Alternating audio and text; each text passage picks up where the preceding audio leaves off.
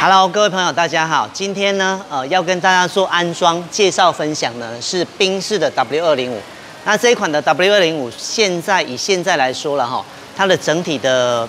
呃呃 CP 值呢非常高。如果以 C 三百来说的话，大概中古车价的话，大概一百二十到一百三十万上下哈。它的动力也好，配备也好，底盘也好，整体的 CP 值算相当的高。尤其是像这样的呃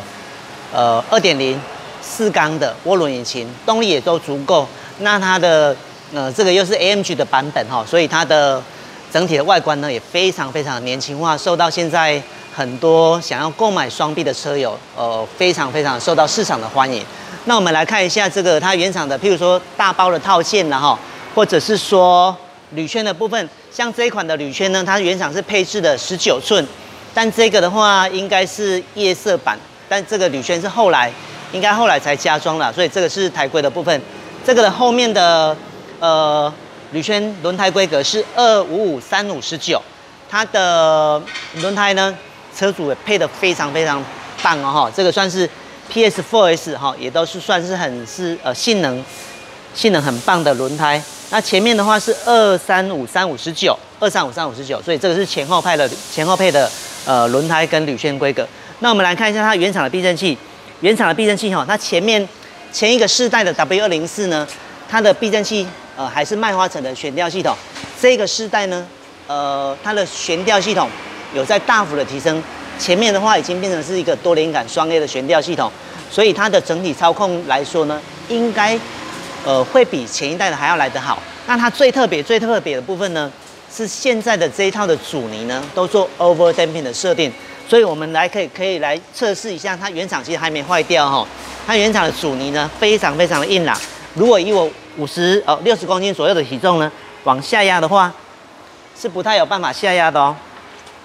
所以它的阻尼子做的很很硬朗。那像这样的配置跟弹簧的配置呢，其实在很多的呃比较偏向跑车的设定呢，譬如说我们常常在猜到的保时捷的系统，它的阻尼呢就做的非常非常硬。那这样子有什么好处跟坏处？这台车呢一定会有很多的，譬如说你原先是开日系车。那现在已经改成是 W 二零五的车主，一定会有一个问题：这台车怎么会那么颠那么跳？其实它不是特别颠特别跳，是因为它的阻尼设定的比较偏向运动版，所以这台车在台湾不好的道路状况、低速的时候，就会觉得特别颠。那在高速时候呢？譬如说你开到一百、一百四、一百五、一百六、一百八，甚至上去呢，我相信这样的悬吊系统就非常非常稳定。可是，一般的车主。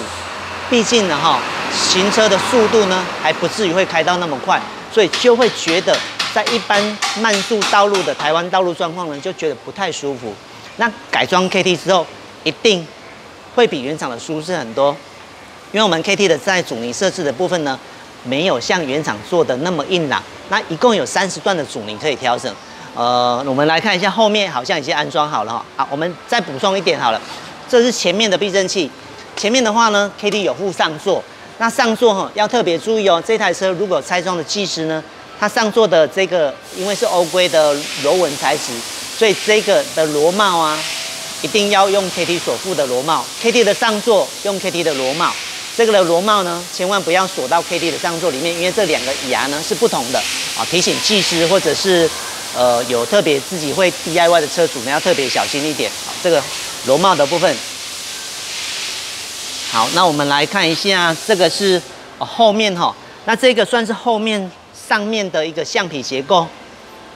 这个是弹后面弹簧的上方哈，它的它本来是这么装的，那为什么这个要拆下来？因为 KT 它就有附一个总成件的，譬如说橡皮也好，Hello Kitty 也好，全部的零件呢都不需要沿用，这样有一个好处就是，万一呃车主本来是改装了其他品牌，他没有这个零件。他要装 KT 的话，那也不用烦恼，因为这个零件全部都要拆掉。有的有的欧系的车，呃，设计的话，它是需要沿用这块橡皮的。但是 KT 的话，这些全部都不需要沿用。哦，它是有一个橡皮锁附之后，再锁锁附这个座。为什么设计会比较特别的奇怪？是因为它这个结构呢是还可以否呃气压板的，所以这个的结构是气压板。跟弹簧的是同一个规格哈。好，那我们来先看一下后面的安装完毕的一个呃介绍。后面的话，它的上座要沿用原厂哈，上座在这里拍得到吗？好，上座在这里。那上座的下方呢，有一个蓝色的一个调整机构，这个调整机构就是在调整阻尼的，往顺时针的方向，往这样子就会变硬，逆时针呢就会变软哈。所以这个地方呢，来可以来调整阻尼。那你从镜头在由下往上拍的话呢，可以看看得到，这个就是刚刚所说的，我们有附一个橡皮，有附一个弹簧调整机构，这个机构呢是在调整。车高的，啊，所以这个橡皮呢就有附了，不用再沿用原厂的任何零件，所以即便呢原来是改装其他品牌，那你来改装 KT 也不用烦恼，因为这些东西呢 KT 就都有附了哈，还有一些防尘套啦，还有里面有一个缓冲的馒头，这些都是专用的规格，它的密合度呢都相当的好。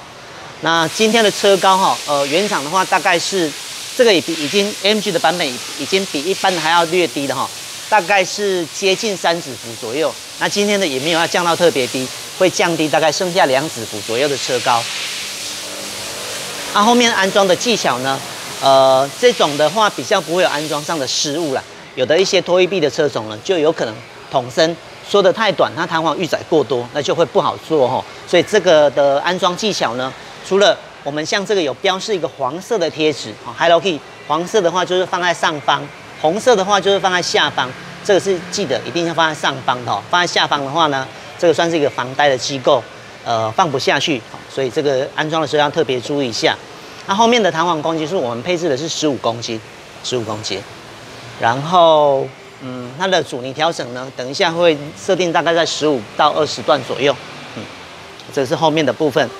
后面也都电子悬吊了哈。这个后面的悬吊系统其实跟前一个世代就就差不了多少了。前一个世代的 W 二零四设计上、还有结构上、还有配置上呢，是差异不了多少。最主要的差异呢，这个世代改变的是在前面悬吊系统。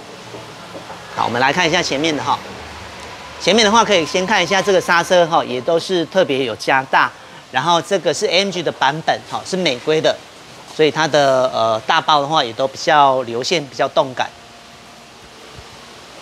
好，那避震器的部分呢？它算是双 A 的悬吊系统。我们配置的弹簧公斤数是两百长，十二公斤。上座的话有负了哈。那它的呃拆装的话，这台拆装前面还蛮简单的，不是很困难哈。这不用再拆，这这个有一个特殊特殊的呃，算是十二角星形的螺帽嘛，这个不用拆。下面的两两颗连杆哈，把它呃螺丝拆掉之后往下压，变形就可以取下来，不困难。这台前面还蛮好拆装的。那一些用料的部分，好像这个的，呃，这样，好，这个的，这样太暗哈，因为白色的会反光哈。这个的，呃，里面的用料，我们 KT 的用料呢，阻尼油是使用的是意大利一整桶进口 IP 的阻尼油，它并不是授权来台湾这做混装的油品，所以它的，嗯，稳定度啦、消耗性啊，种种的耐耐久度的表现哈，都相当的不错啊。唯一的缺点应该是单价比较贵吧。然后油封的部分，我们使用的是日本 NOK 的油封哈，所以这个都是很知名高档的品牌，所以 KT 在用料上的话都相当的不错了哈。那车高部分的调整，前面也大概是两指幅左右，没有要降的特别低哦，所以大概两指幅左右。那这样的车高调整呢，跟后面刚刚第一个介绍的后面是不太一样的哦。它的车高调整还蛮单纯的，我们把脚管上方这个齿轮状银色的拖把把它旋松之后，它的长度呢拉长，车高就变高。这个往下缩短，车高就变低哈，所以这个能够调整到最高可以跟原厂一样高，最低的话大概剩下轮胎到叶子板大概剩下半指幅左右吧。嗯，好，这个是呃前面的悬吊系统，这个是双 A 的悬吊系统哦，它的承重感的确了哈，比呃前一代的 W 二零四呢还要硬朗很多很多，所以听到很多的呃 W 二零五的网友哈车友们呢。都会提到在板上会询问的就是这台怎么会那么硬朗，但这个并不是它算是一个世代交替之后想要让它的操控呃改得更好的一个一个设计变更啦。那当然操控也好很多，可是相对的舒适度的话，尤其是台湾的道路品质不是很好，所以它的舒适度的话，呃就没有像前一代的那么好。好，前面的部分的话，你镜头拉高拍上面拍得到吗？好，那你的镜头就好了。前面的话哈，它的上座呢是在这里，在这个地方。那前面因为这里有一些呃冷气的管路呢，所以阻尼调整呢，从这个旋钮上面来做调整，啊，从这个旋钮上面来做调整。啊，这个是一个四缸的四缸的呃涡轮引擎，啊，这个还有一个酷乐。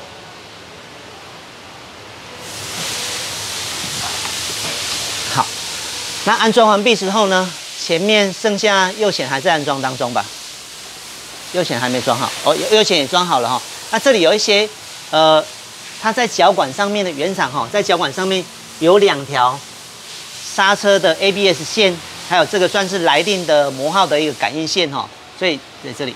再移一点，好，好，这个这个线呢会有两个固定线，会固定在避震器的下方。那这个下方呢，因为原厂的它的管径呢比较小，所以等一下这个呢扣上去之后，呃，如果紧度不够的话，我们会再辅辅助一个束线带把它固定好。对，好，它外观。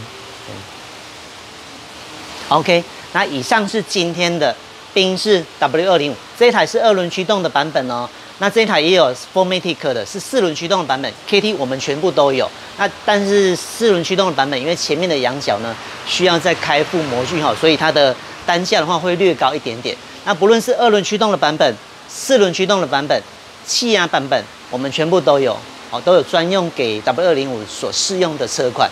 那这一台车呢，呃，如果你刚好也是开这这台车的话，也有遇到刚刚所叙述到的那些问题的话，很欢迎呢来 KT 来试乘看看啊，我们都有实车可以提供给大家试乘啊。如果呃你有相关问题的话，也可以到我们 FB 的你打上 KT Racing 的粉丝团呢，询问我们家的小编哈，或者是说你有任何产品上的问题，价格都很欢迎跟我们联络询问。那今天的影片就到这里，谢谢，拜拜。